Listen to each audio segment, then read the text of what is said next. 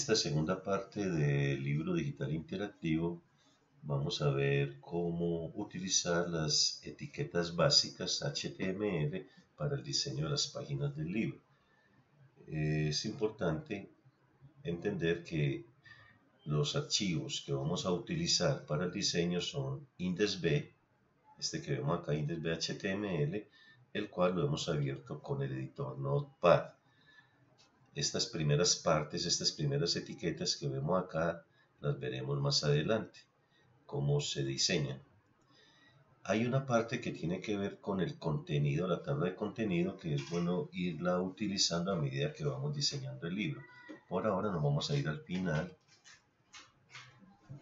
del libro, que es aquí la página 99, observémoslo acá.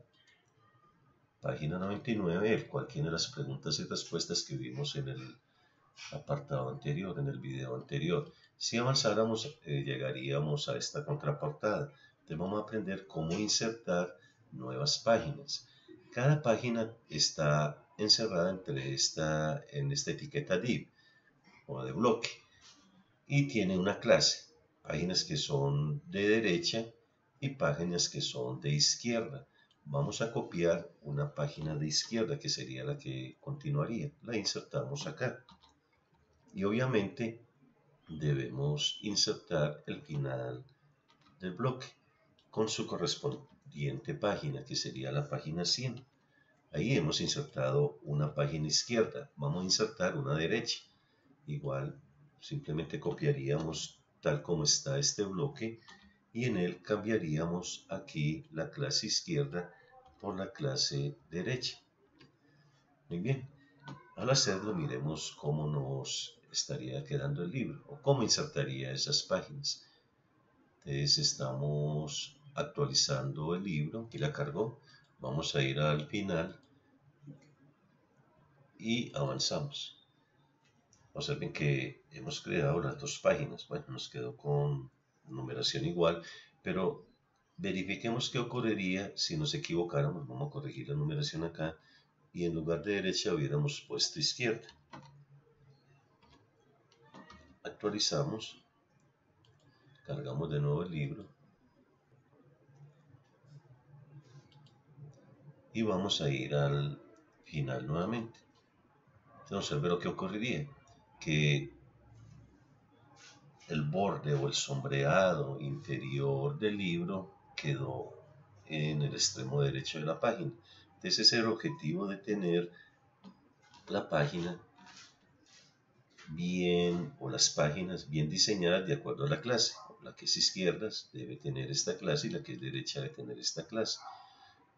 Vamos a incluir ahora algunos diseños especiales. El libro tiene unos, una hoja de estilos, que es esta, que se encuentra en esta carpeta, Style CSS, el cual hemos abierto acá y allí tiene la configuración de las etiquetas más importantes que vamos a utilizar en el diseño del libro. La etiqueta párrafo, esta de encabezamiento tipo 1, tipo 2, tipo 3, este, esta etiqueta A para referencias, aquí para, para el uso de viñetas, tablas, las fracciones para utilizar en expresiones matemáticas, raíces, para tachar eh, algunas unidades que debemos cancelar como lo vimos en el video anterior, integrales, sumatorias, medias, y encima de la letra B, vectores, límites, etcétera, etcétera. Entonces por ahora lo que vamos a hacer es diseñar algunos textos. Por ejemplo, un encabezamiento como H1, esta es la etiqueta, y esto lo vamos a llamar título 1.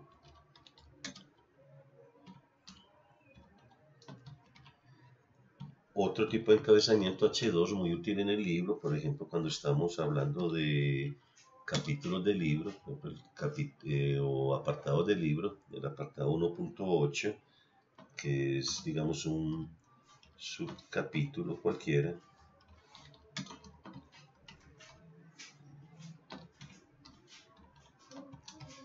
Y vamos a incluir un párrafo.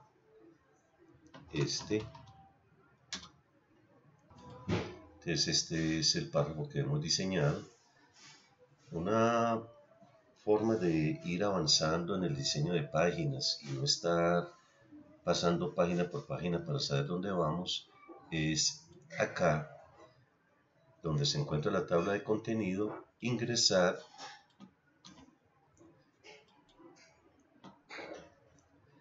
el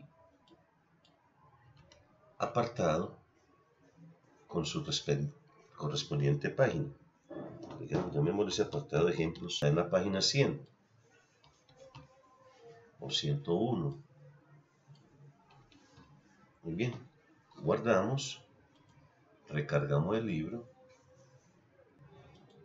Entonces vamos a ir, aquí no aparece el apartado en la tabla de contenido y nos envía allá título 1, este fue el que utilizamos con etiqueta H1, este es un subtítulo utilizando la etiqueta H2 y estos son los párrafos.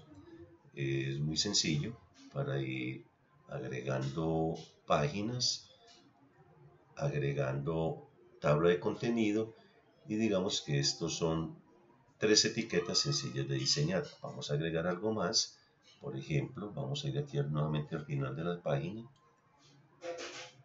y vamos a agregar unas viñetas. Llamémoslas viñetas. Las etiquetas viñetas empiezan con esta pues esta etiqueta llamada UL. Cada viñeta va en li. A veces es mejor irlo diseñando de una forma más ordenada. Viñetas 1 por ejemplo, se cierra la etiqueta, esa sería la primera línea de viñetas, otra podría ser otra, en fin, es simplemente un ejemplo y una más.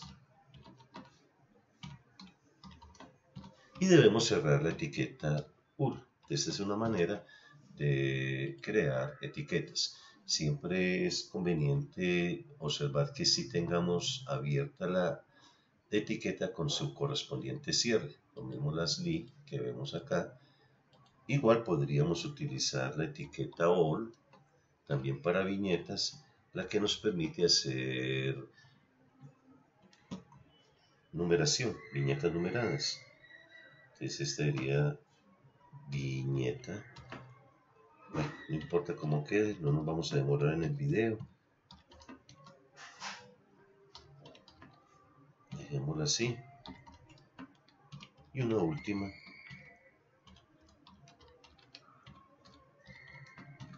Y cerramos la etiqueta All.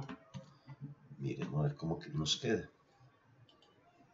Actualizamos el libro y miramos cómo está el ejemplo.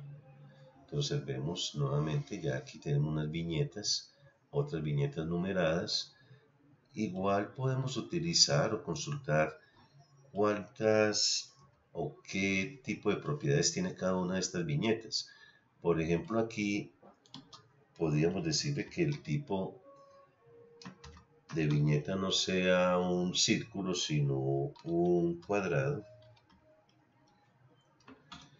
Acá en esta podríamos decirle que no inicie en 1, sino que inicie en 2.